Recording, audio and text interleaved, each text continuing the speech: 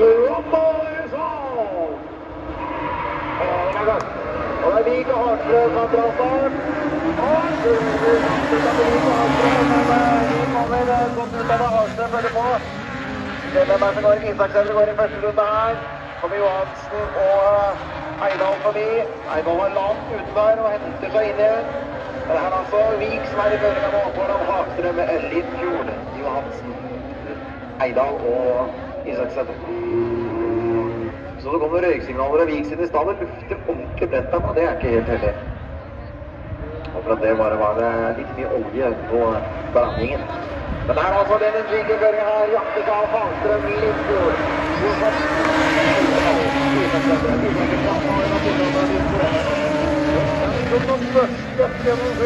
Ja, og vi prater om hva går Johansen inn. Da må vi Risakssenteret og plukke en plassering der.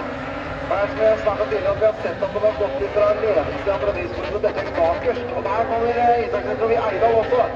Nå er Isakssenteret farlig, for han jakter bak der nå, mens noen kniver foran.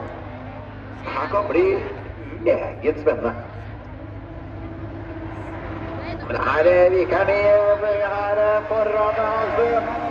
Ja, Lindfjord litt i mat, men de store har foran meg, og det kan kanskje være litt rett ballepasser. Var Lindfjord inn der nå. Skal vi se om hun klarer å komme foran Isakssenteret. Nå må du treffe bra, kan ikke, og det gjør du. Og du kommer Oi, oi, oi! Hårvidt foran Isakssenteret. Det var Isakssenteret. Pusher og pusher. Gi gass. Han har inn på Hjartstad, for nå er luka såpass stor, så den bør kunne klare alternativet. Ja. Kjører stikk på her. Og Lindfjord og Isakssenteret. Der går Hagstrøm inn, og det er nok en lur taktikk der, for at det, han kommer til å klare veldig vidt der foran Lindfjord.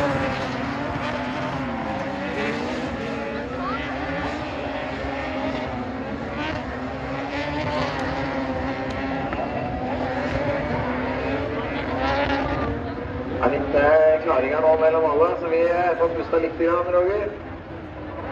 Ja, men det går. Det går så fort.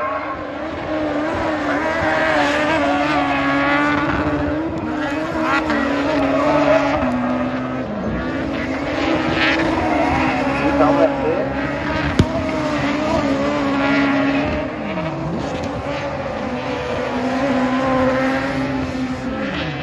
Eh, Foreløpig så jakter jo Anniken på en pallplass på hjemmebane. Det jo er, eh, det er stas å stå på pallen, uavhengig av hvilken plassering det er på pallen.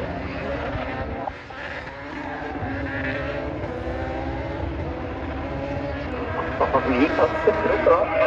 Oi, oi, er å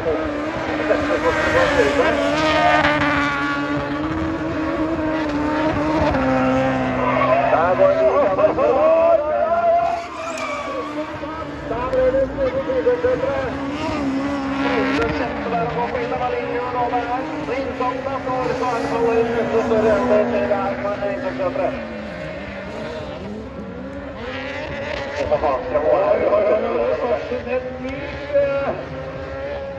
En vinner av Crosscut Extra Junior.